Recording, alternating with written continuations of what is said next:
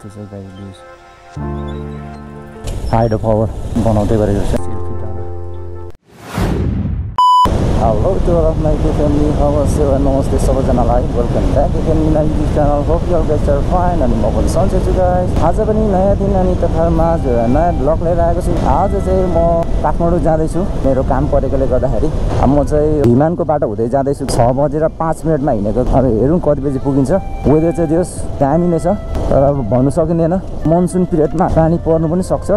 Guys आम so sorry है। मेरो vlog चाहिँ अब त्यस्तै कारणले अलिक ढिलो ढिलो आइरहेछ है। अब आउने दिनहरूमा चाहिँ अलिक म चाँडो ल्याउने कोसिस गर्छु। जहाँ जहाँबाट हेरिदिँदै हुनुहुन्छ thank you so much for your love and support यस्तै माया अनि साथ सपोर्ट सधैँ गरिदिँदै गर्नु होला गाइस किप अन वाचिङ अनि तपाईँहरू यस च्यानलमा जो को नयाँ हुनुहुन्छ भने प्लिज सब्सक्राइब चाहिँ गरिदिनु होला तपाईँहरूको यस सब्सक्राइबले मलाई सपोर्ट हुनेछ।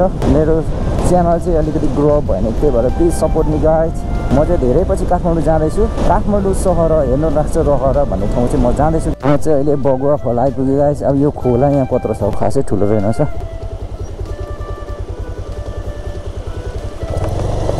ओ गएर परेछ यार। आज राति पानी पऱ्यो भए चाहिँ यहाँ ठुलो आउँथ्यो। यहाँनिर पुल चाहिँ बन्दैछ कहाँ? यहाँ माथि। तर कहिले बनिसक्छ?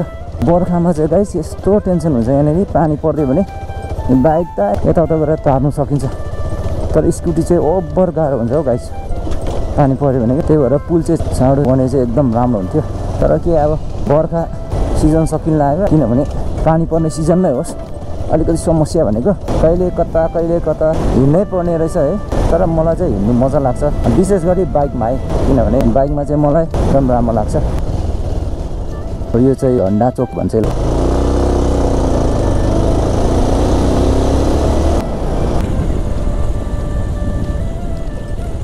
यो बर्खा छ अहिले पुरा देख्न सक्नुहुन्छ। यस्तो छ पानी चत्रा पुल्यो हो। अब यहाँबाट लाग्यो। बेलाका रिसोर्ट भनेको यही हो गाइस यहाँनिर स्विमिङ पुल होमस्टे त्यस्तो छ है गाइस यहाँ आउनु सक्नुहुन्छ। म चाहिँ अहिले रामपुर आइपुगेँ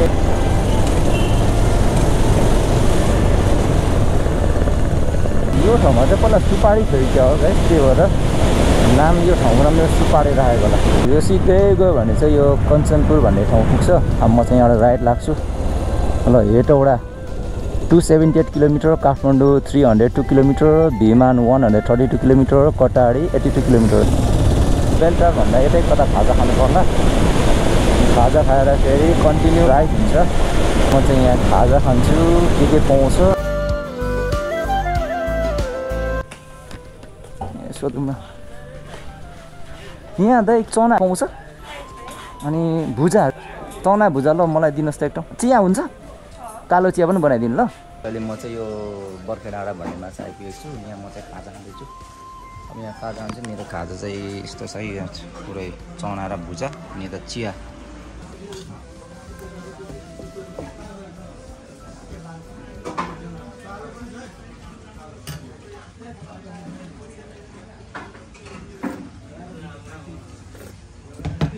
मैले चाहिँ खाजा खाएँ बर्खे डाँडा भन्ने ठाउँमा।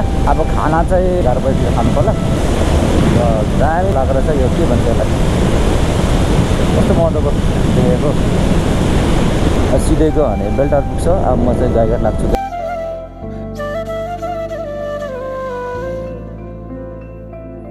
म चाहिँ अब गाईघाट भन्ने ठाउँमा आइपुग्नु लागेँ। गाईघाट एरिया चाहिँ हो यो तर म बजार चाहिँ आइपुगेको रुको जरा सबर करो के गर्छ यार गाडीहरू पनि सिधै ल्याउँछ हौ गाइड आइपुग्यो गाइड म रेड लाइट पढिसकेको छैन छैन रहेछ छैन रेड लाइट गाईघाट छोकै यो चाहिँ गाई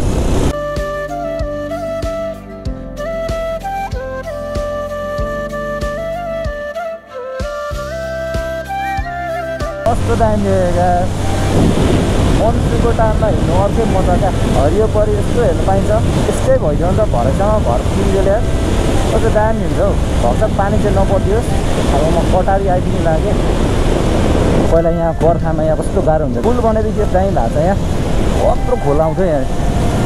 यो खोला तल्लोपट्टि मौबासे खोला। फाइनली म कटारी आइपुगेँ। अब यहाँबाट राइट कटारी जान्छ। र Kathmandu two hundred twenty one kilometre Okhaldhunga ninety six kilometre Hetauda one eighty six kilometre Bhiman fifty kilometre. अब म चाहिँ भिमानतर्फ लाग्दैछु। कटारी हो यता चाहिँ। अब म चाहिँ भिमानतर्फ लाग्दैछु। यस्तो छ है भिमानको बाटो। दामी छ है गाई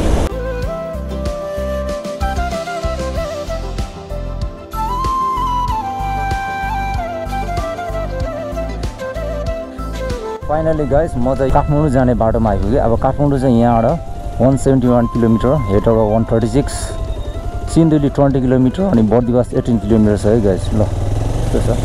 अब म यहाँबाट राइट लाग्छु। यहाँबाट यता लेफ्ट गयो भने बर्दिवास पुगिन्छ। पानी परेर भर्खर रोकियो जस्तो छ त्यो आज वेदरले साथ दिएको छ। पानी चाहिँ नपरोस् है। यो सिन्धुलीको माझी टाढ भन्ने ठाउँ। यहाँ चाहिँ मैले माथि एउटा मन्दिर छ नि। सिसै सिसा राख्ने। एउटा सिसा किन्नुको लागि यहाँ आएको थिएँ यो सुषमा कस्मेटिक पसलमा। यो बुद्धनगर सिन्धुली भनौँ न। यहाँ किनिसकेँ। अब चाहिँ म यहाँबाट लाग्दैछु।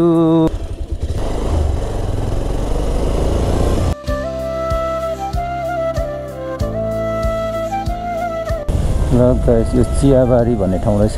फाइनली गाइस म चाहिँ यो चियाबारी भन्ने ठाउँमा आइपुगेँ। अब म चाहिँ यहाँ खाना खान अब चाहिँ म यो एसएमएस होटलमा चाहिँ यहाँ खाना खान आएको छु र खाना खान आएको छु मेरो खाना पनि मेरो खाना पनि आइसकेको छ। म चाहिँ भेज खाना खान लागेको किनभने मन्दिर पस्नुपर्ने छ त्यहाँ मन्दिर पस्नुपर्ने भएको कारणले गर्दा चाहिँ मैले चाहिँ भेज खाना खाइरहेको छु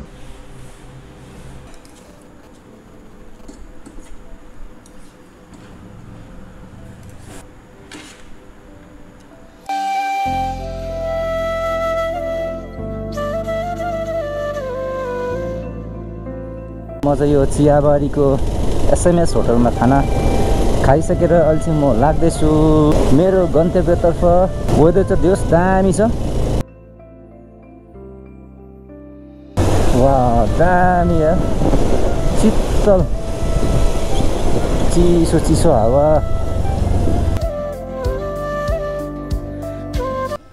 यस्तो चाहिँ गाई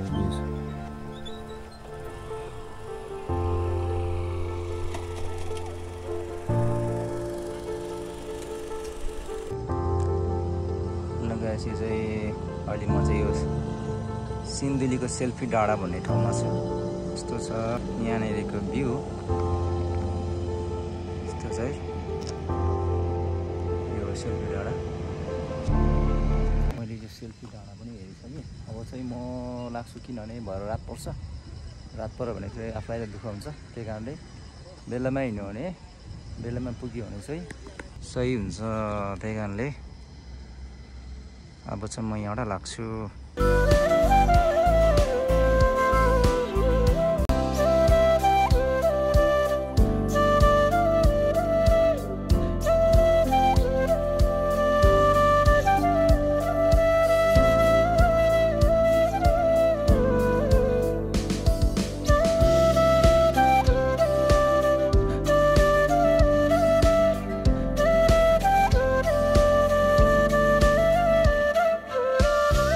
र यहाँ देख्न सक्नुहुन्छ पर हाइड्रो पावर बनाउँदै गरेको छ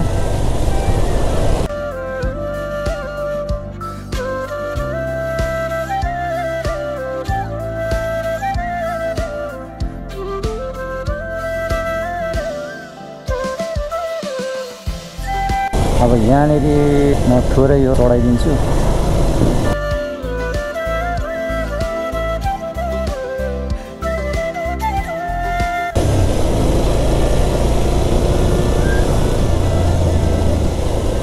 ए सेती देवी।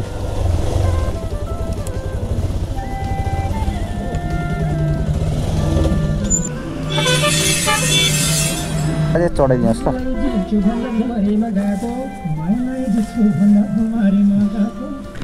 गाइजहरू यहाँ चाहिँ एउटा रेसोर्ट रहेछ यहाँ तल देख्न सक्नुहुन्छ। के हो क्वालिटी रेसोर्ट के हो? यहाँ तल मन्दिर छ यहाँ पूजा गरेर भर्खर।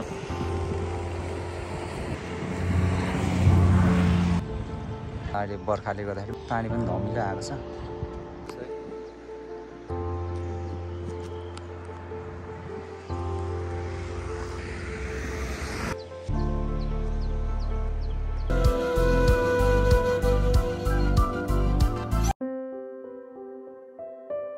यहाँनिर एउटा क्वालिटी रेसोर्ट रहेछ है गाइस यो मूलकोट भन्ने ठाउँमा।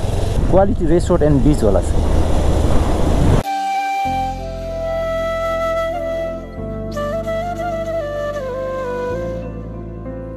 माछा फार्म रहेछ नि त माछा फार्म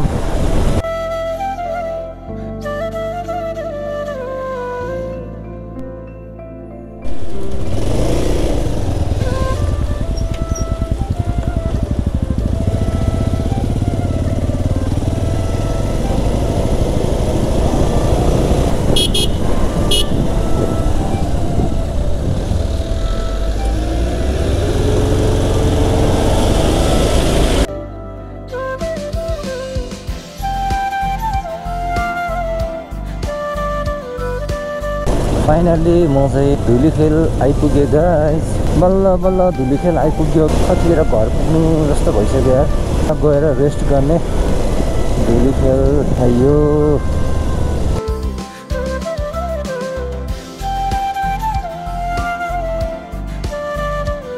सिक्किमबाट ग्रुप राइड यहाँ आएको रहेछ नि त अगाडि देख्न सक्नुहुन्छ। एसकेको नम्बर प्लेट छ।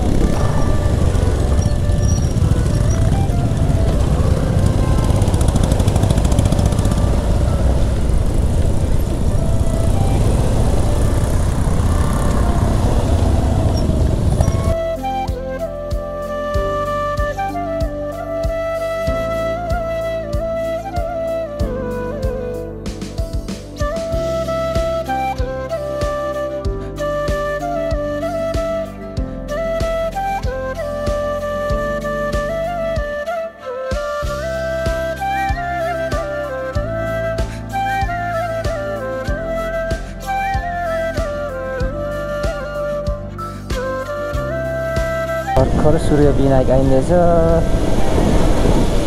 अझै अब आधी घन्टा त पक्कै लाग्छ।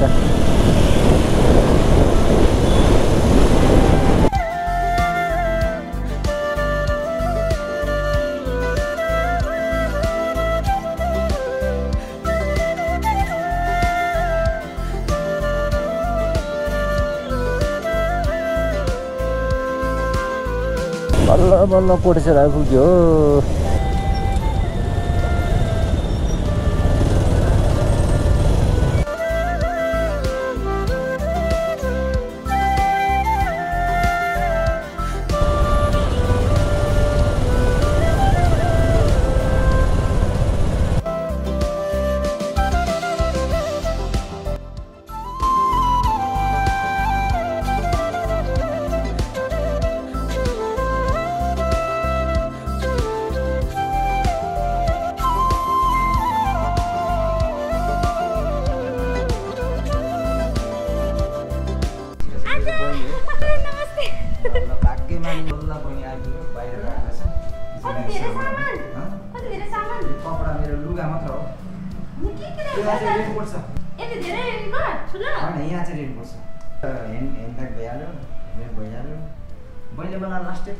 पर्खिँदा पर्खिँदा ओके